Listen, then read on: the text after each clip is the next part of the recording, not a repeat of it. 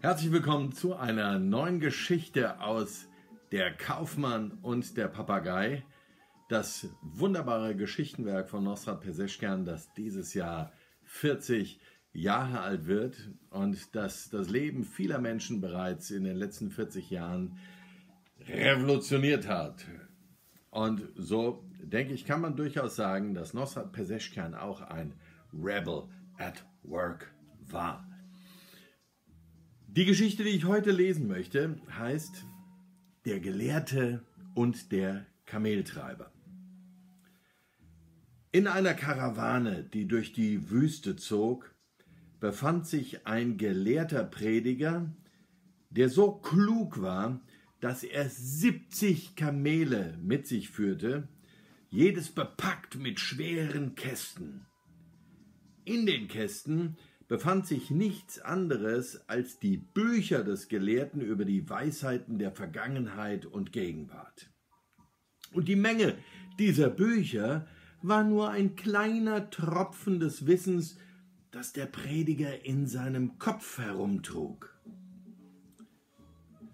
Mit der Karawane zog auch ein armer Kameltreiber, von dem bekannt war, dass er glaubte, der letzte Iman also der neue Prophet, sei gekommen. Klar, es musste so kommen, dass der Prediger eines Tages den Kameltreiber zu sich rufen ließ. Du weißt, wie ich unter den Gelehrten unseres Landes und der ganzen Welt bekannt bin. Du siehst die siebzig Kamele, die nur einen Schatten meines Wissens mit sich führen. Wie kommt es, dass du, ein einfacher Kameltreiber mit zerlumpten Kleidern, der du noch nicht einmal die einfache Kunst des Schreibens und Lesens beherrschst und noch nie eine richtige Schule, geschweige eine Akademie besucht hast, zu glauben wagst, der letzte Iman sei gekommen?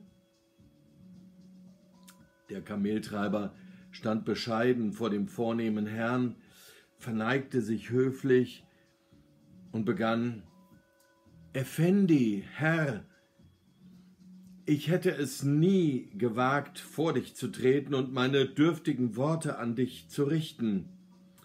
Aber nun hast du mich gefragt. Ich darf versuchen, das, was ich denke, mit einem armseligen Beispiel zu zeigen, Herr. Du verfügst über wunderbare Kostbarkeiten des Wissens, die ich mit den glänzendsten Perlen des Meeres vergleichen möchte. Diese Perlen sind so kostbar, dass sie in weiche Samttücher gehüllt in einer kunstvoll verzierten Truhe aufbewahrt werden müssen. Mein Wissen dagegen ist wie diese gewöhnlichen Steine, auf die unser Fuß in der Wüste tritt. Doch denk dir, die Sonne geht auf. Sie sendet ihre Strahlen zu uns.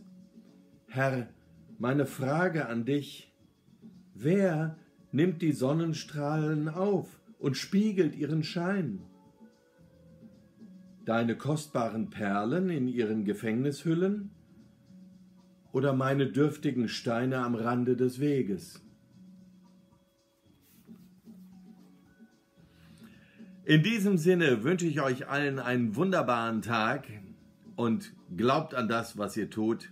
Nehmt die Sonnenstrahlen auf, auch wenn sie heute etwas dürftig sind, und spiegelt sie wieder, strahlt und seid Rebels at Work. Ich freue mich drauf, wenn ihr morgen wieder zuschaltet bei einer neuen Geschichte aus Der Kaufmann und der Papagei. Bis dann.